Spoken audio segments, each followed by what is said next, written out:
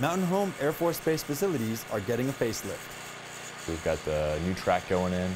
Uh, we've got a theater, uh, I guess, renovation kind of going on. And there's lots of renovations going on at the fitness center. With the Air Force under such a tight budget, I was curious how we paid for these projects.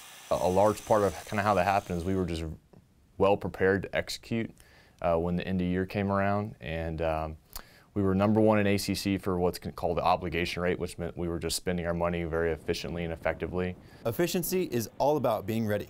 Be prepared for the unexpected. Be prepared for yes. Be prepared to get the funding because it's much better to be to do the work and not get the funding than get the funding and not be able to execute because you weren't prepared. Being prepared comes from airmen seeing something that could be improved, getting the necessary paperwork done, and demonstrating the need for change. Follow the proper procedures of identifying what it is, maybe benchmarking another facility at another base, and kind of using that as a, as a kind of a goal of what you should be trying to achieve.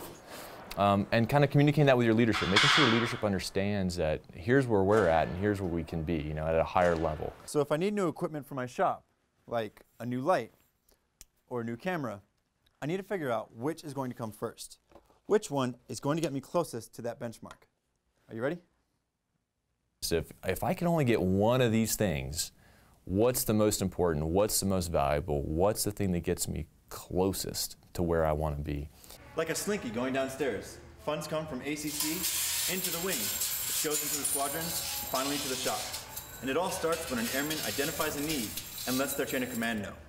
From Mountain Home Air Force Base, I'm Airman First Class Justin Carnahan.